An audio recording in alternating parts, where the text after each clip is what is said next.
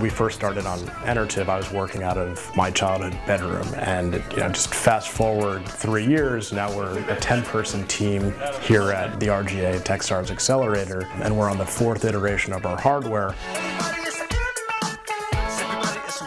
Enertiv is an energy monitoring company that helps buildings to save energy and save money by giving them actionable insights into equipment level usage. In the last two decades, the average temperature has been higher than it was in the last 400 years. So we have a real problem here. Commercial and educational buildings in the US waste 30% of the energy they consume, and that costs them about $40 billion each year. That's enough power to sustain New York City for eight years.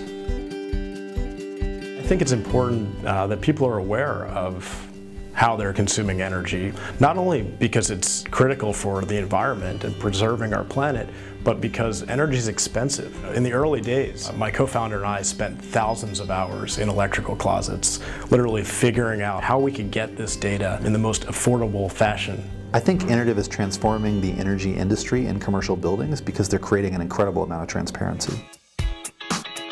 So we've been building these engaging software products for building operators and building occupants.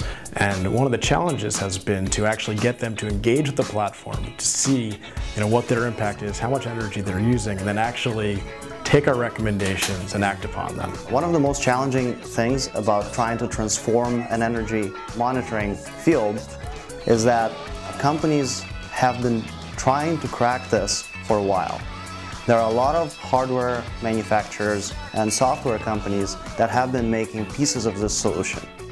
We're one of the first companies to bring this all together in a way that's easy for people to use.